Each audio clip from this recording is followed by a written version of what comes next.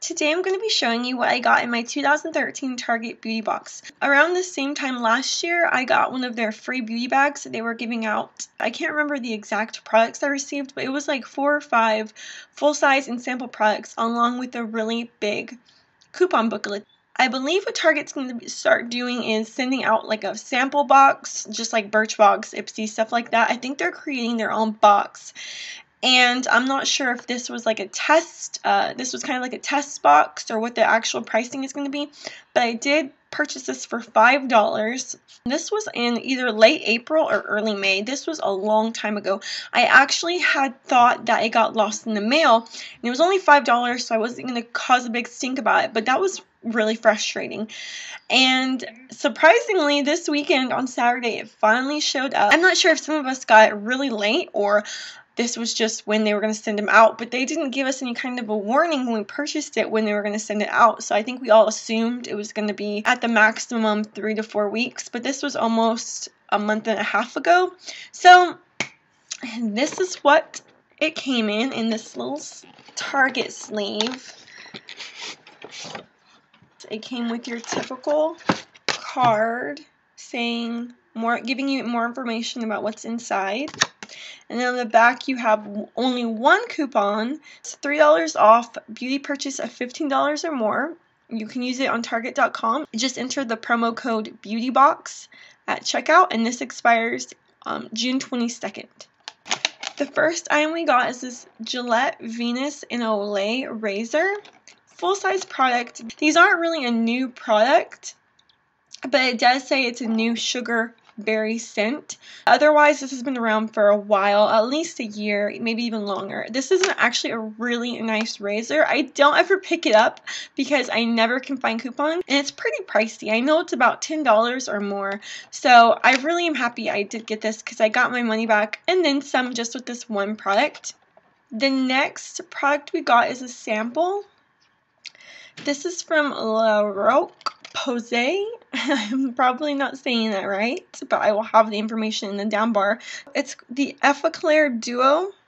It says, while previously only available through dermatologists, La Roche-Posay is now available at Target. It's a breakthrough acne treatment, clinically tested to bring high efficiency with high tolerance.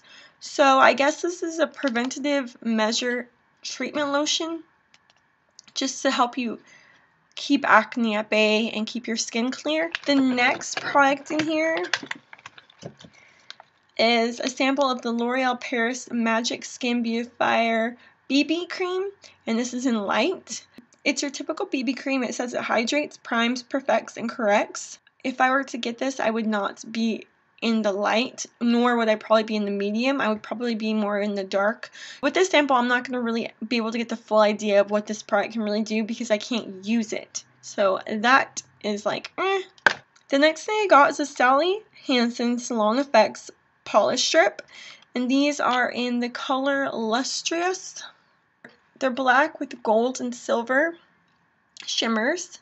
This is not really new and it's not really summer, so I'm kind of unsure why this is in the box. I'm not trying to be like a Debbie Downer, it's just that they promoted this kind of as their spring, summer beauty box, and this is not a summer shade.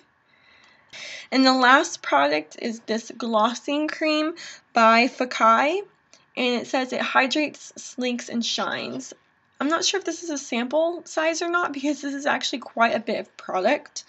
I do see myself getting full use out of it. So it's a shame that they don't give us coupons for these products, but these two definitely paid for the box alone. This, I'm actually happy. It's like I paid $5 and got a huge discount on this. So I'm so happy this made up for everything. Last year, I didn't have to pay anything for my free beauty bag, and it was like amazing.